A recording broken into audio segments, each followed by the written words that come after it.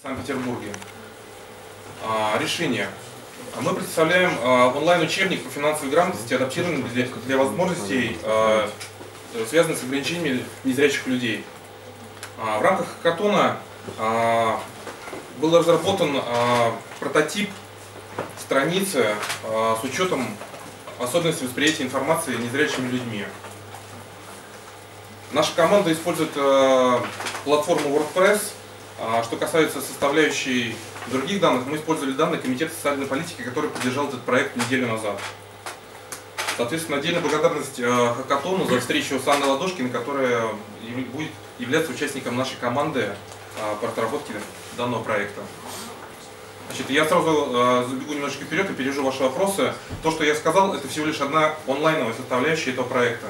Дело в том, что есть еще офлайновая составляющая, и проект э, онлайновый будет реализован после того, как мы проведем обучающие курсы э, офлайн, получим обратную связь от людей, от аудитории, людей с ограниченным зрением, и создадим самый ресурс, исходя из их потребностей. А в дальнейшем мы планируем создать, вывести проект на федеральный уровень, и, а еще следующая цель – это создать продукт уже банковский, со стороны банков, адаптированный для возможностей людей с ограниченными возможностями. Спасибо большое. Спасибо. Вопросы? Какие финансовые проблемы незрячих э, людей вы решаете этим проектом? А, Мы решаем не финансовые проблемы, мы занимаемся образовательно-просвещенческими задачами. Собственно, я действующий преподаватель, работаю в социальной сфере, только моя целевая аудитория – это пенсионеры. В принципе, различия, но я думаю, будет только, к сожалению, в худшую сторону, потому что люди с ограниченными э, возможностями зрения, они вообще вырваны из контекста взаимодействия с финансовыми структурами. А я могу, например, сказать, что работая с пенсионерами, некоторые из них э, впервые банковскую карту на моих занятиях вообще реально в руки взяли.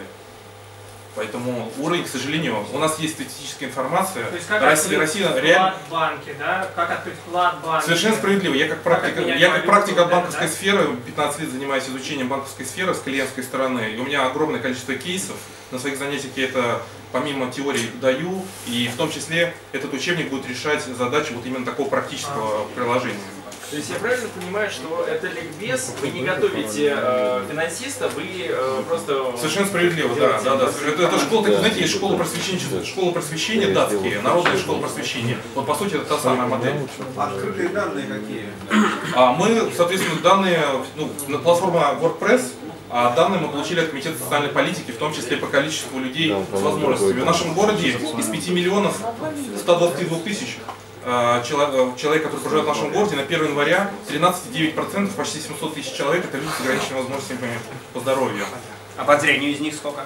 Но по зрению там достаточно большая часть. У нас этих данных мы э, с обществом слепых еще не успели просто связаться. Скажите, пожалуйста, с технической точки зрения, э, я правильно понимаю, что я правильно понимаю, что с технической точки зрения ваш инструмент не, никак вот на финансовую сферу э, ну, не имеет значения финансовая сфера это или обучение там чему угодно другому.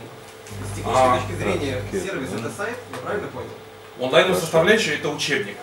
То есть, э, в принципе, нет же разницы, это учебник по финансам или по истории, А, ну, дело в том, что я, соответственно, мы реализуем этот проект, исходя из тех знаний, которые у нас есть. Да, это, ну, в принципе, разницы нет. Дело в том, что если- Вопрос про техническое. У нас все-таки ну, э, здесь э, хакатон, э, история про технические изобретения. да, Ага. то есть с технической точки зрения вы просто делаете сайт, адаптированный для людей с э, проблемами зрения. Да, совершенно справедливо. А вот использование даты, то есть вы когда ее нашли, вы как-нибудь использовали ее? Я не, понял. Еще я просто... Ну, просто как была эта open data использована в проекте? Ну, в смысле, что вы... То есть вы количество посчитали, вы адресовали? Ну, мы как емкость рынка, по крайней мере, Контроль полиции. Контроль полиции мы слышим.